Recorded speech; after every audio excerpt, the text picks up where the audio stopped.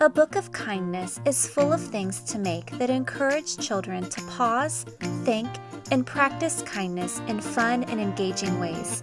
The craft items are designed to help children tune into their feelings and to share what they enjoy with one another.